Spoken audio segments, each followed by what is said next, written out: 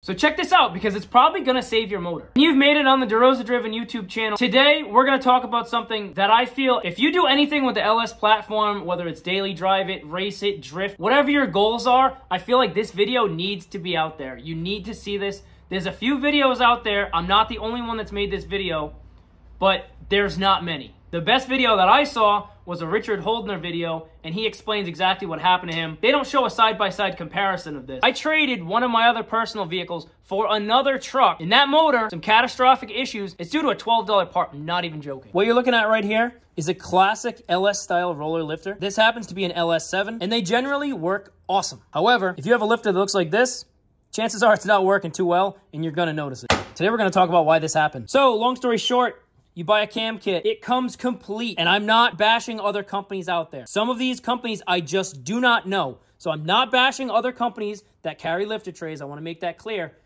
This company, I know for a fact where this tray came from, and I know where this tray came from. Michigan Motorsports. Oh, I think I'm getting sick. The goal of the lifter tray, see these flat spots?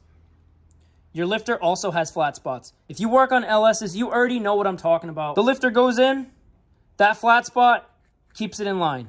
Perfect. Awesome. That's exactly what you want. However, some of these lifter tray companies out there, I don't know where they're getting these from. It looks like they might even 3D print them. I have no idea.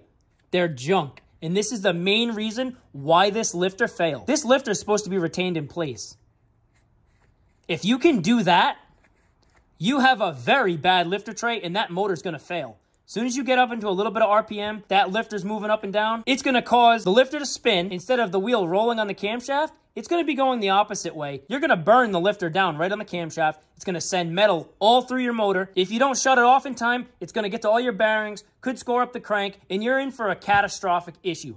Luckily, this motor was shut down quick enough, but it still, I mean, it still took a little bit to do that but it was shut down quick enough where it didn't ruin everything. This taught us all a good lesson. Be careful where you buy your lifter trays from. What I have in front of me is a General Motors lifter tray. I just took it out of the package. Here's the part number. This is a real legit GM lifter tray. Check out how the lifter fits in this. You can't even do it with one hand. See that? There's no spinning that. It's not going to happen. Maybe over time where it wears out. This is exactly what you want. That lifter is not falling out. Bad. Good. Just looking at them side by side, you can tell the GM lifter tray is significantly thicker. There's no squeezing that. I mean, I'm not the strongest guy in the world, but that thing's not budging. This thing's junk. So the moral of the story is if you're building a motor, doing a cam swap, whatever you're doing, don't go with an aftermarket lifter tray.